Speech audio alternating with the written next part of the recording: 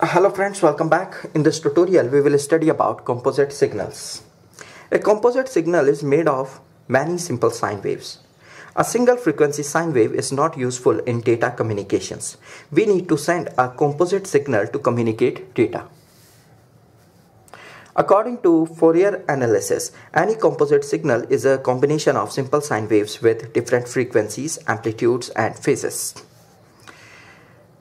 Now what happens, the composite signal can be periodic or non-periodic. So first we will study about periodic composite signal. A periodic composite signal can be decomposed into a series of simple sine waves with discrete frequencies. Now here you can see this example, right? Now we are considering an example. So in this uh, example, in this uh, figure in this figure you can see a periodic composite signal with frequency f right? This figure shows a periodic composite signal with frequency f.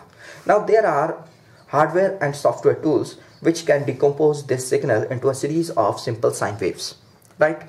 Now here you can see now this figure right?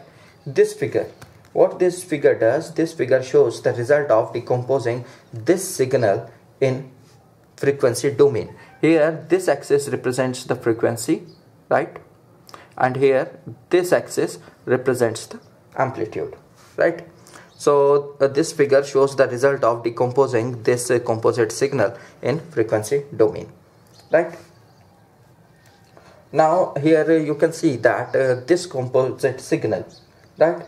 This composite signal is decomposed in three simple sine waves right? This uh, uh, composite signal is decomposed in three simple sine waves with frequency f 3f and 9f right? So in this case uh, you can see that in uh, uh, this uh, frequency domain that this composite signal is decomposed into three simple sine waves with frequency f 3f and 9f right?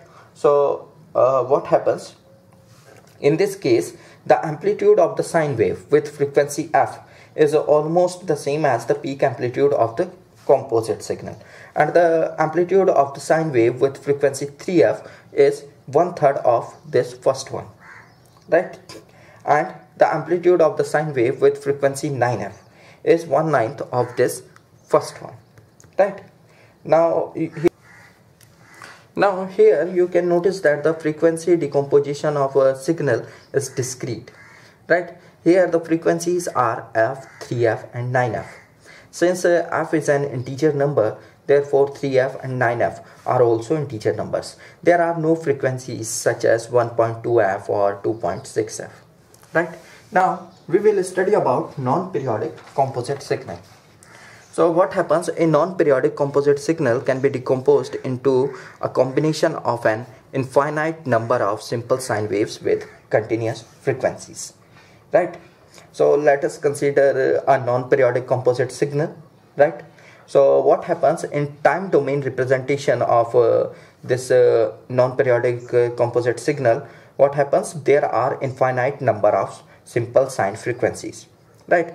So what happens uh, this uh, number of frequencies is, is, infinite but the range is limited. Here in this uh, example what happens the range is between 0 and 4 kilohertz. Right. So what happens with the frequency decomposition of the signal gives a continuous curve. Right. Frequency decomposition of a non-periodic composite signal gives a continuous curve. Right so uh, there are infinite number of frequencies between 0 to 4 kilohertz in this case in this example right? So if we have to find the amplitude related to frequency f then what we do we will draw a vertical line at f to intersect the envelope curve right? And the height of uh, this vertical line is the amplitude of the corresponding frequency f right? So what happens in a non-periodic composite uh, signal uh, this non-periodic composite signal. It is decomposed or we can say it can be decomposed into a combination of an infinite number of simple sine waves with continuous frequencies right?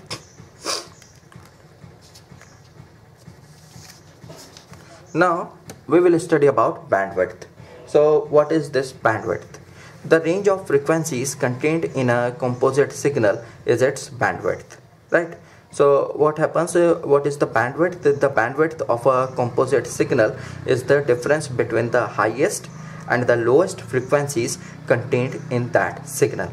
So here in this example here in this example uh, which we have considered what is the bandwidth? Bandwidth is 4 kilohertz right